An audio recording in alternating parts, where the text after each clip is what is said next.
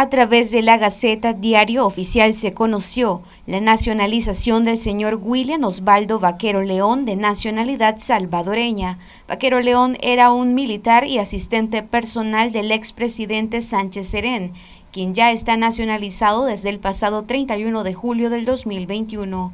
En la Gaceta se acuerda otorgar la nacionalidad nicaragüense en calidad de nacionalizado al originario de la República del Salvador, considerando que el ciudadano William Osvaldo Vaquero León de nacionalidad salvadoreña ha cumplido con los requisitos y formalidades establecidas en la Constitución Política de la República de Nicaragua para adquirir la nacionalidad.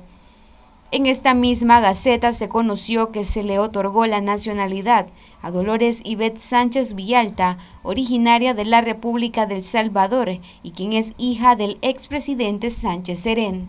Estas nacionalizaciones se suman a las ya realizadas en septiembre del 2021 donde se nacionalizó a tres miembros más de la familia del expresidente y actual prófugo de la justicia salvadoreña.